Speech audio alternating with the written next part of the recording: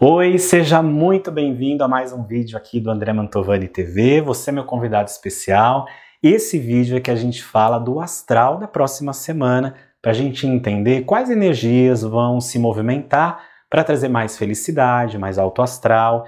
E é sempre um vídeo também para a gente ficar atento caso tenha alguma dificuldade para a gente enfrentar.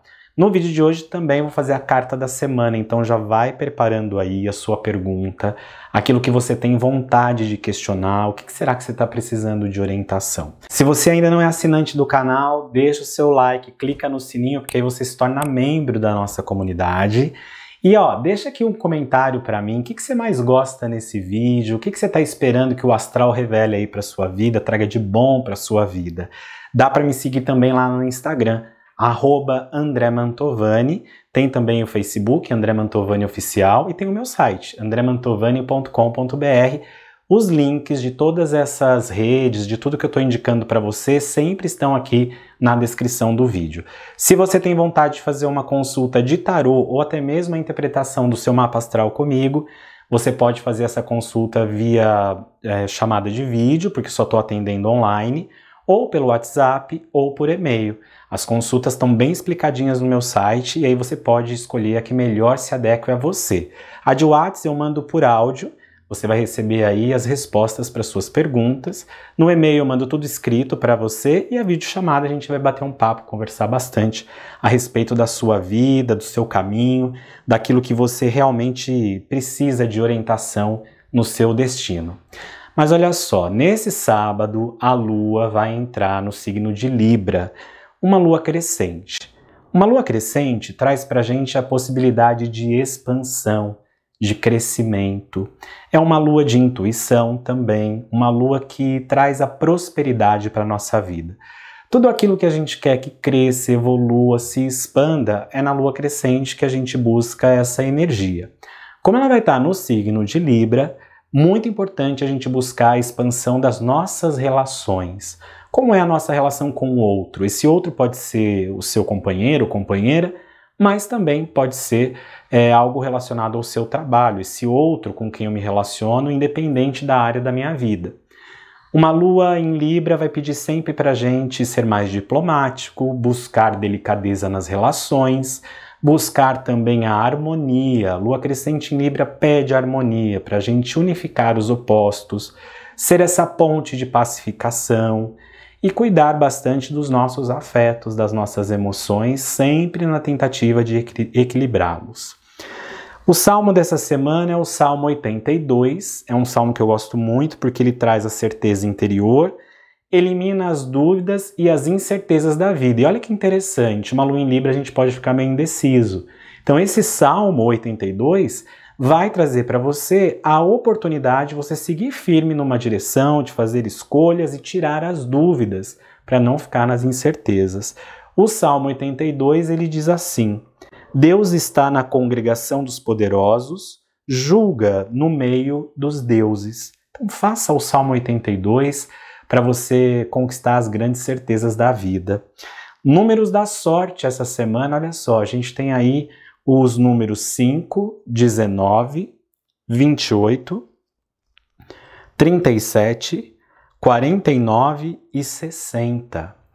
Incenso dessa semana é o incenso de cravo, cravo flor, tá? Não é o cravo especiaria, porque traz a energia de cura para os problemas físicos, afasta a inveja e o mal olhado. Muito importante a gente ter esse aroma até para conseguir ter mais paz e mais tranquilidade. Cor dessa semana é o amarelo, cor da prosperidade, da inteligência, das mudanças positivas da vida e também um, uma cor que traz muita alegria para o nosso dia a dia. Para quem busca uma energia extra para os estudos, concentração, o amarelo pode fazer toda a diferença.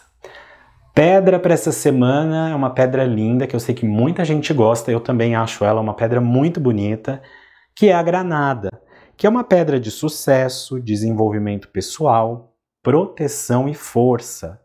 A granada também atrai prosperidade, favorece o crescimento pessoal e profissional, afasta as energias negativas e olha que interessante, as fortes vibrações da granada também fortalecem a nossa saúde, aumenta a nossa alegria e também traz amor. Então, uma pedra essencial para a gente usar essa semana.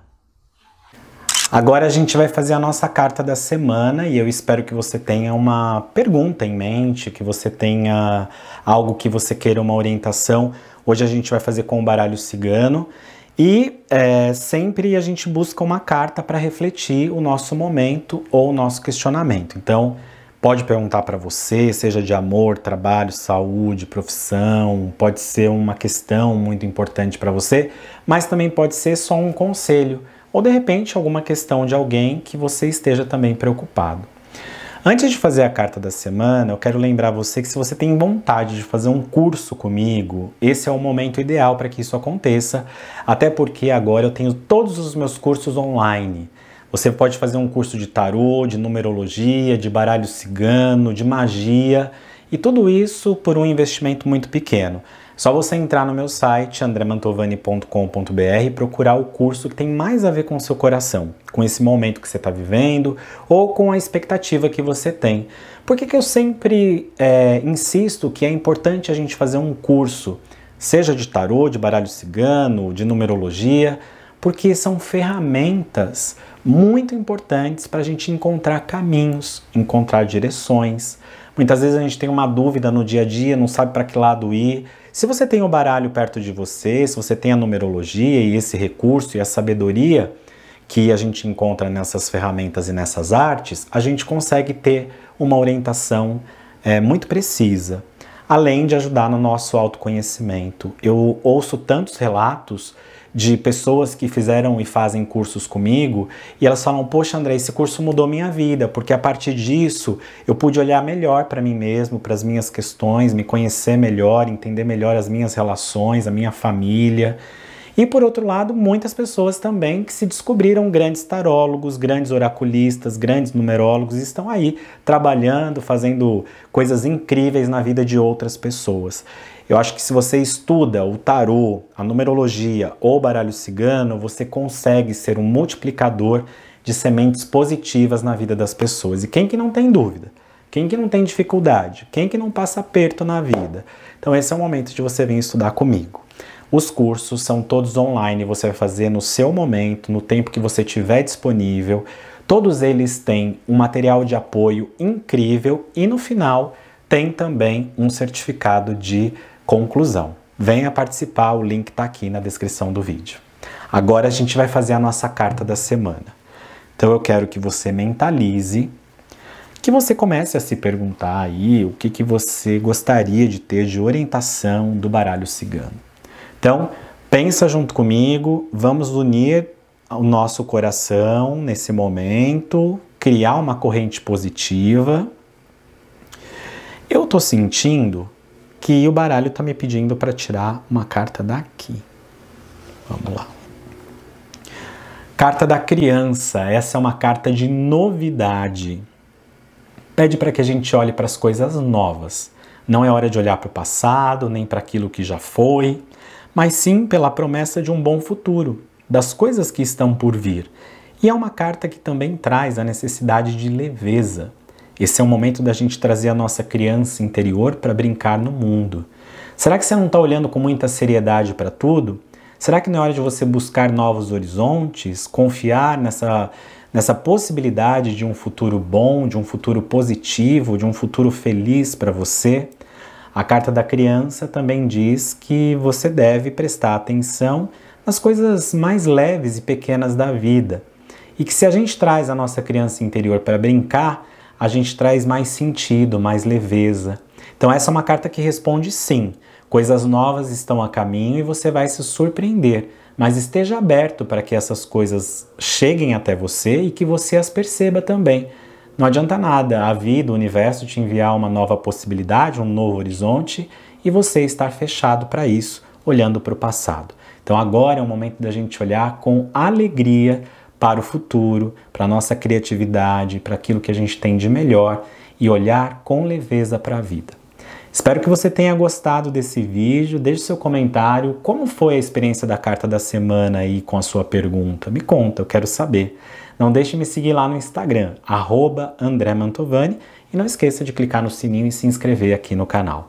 E em breve tem mais vídeos aqui no André Mantovani TV. Tchau, tchau!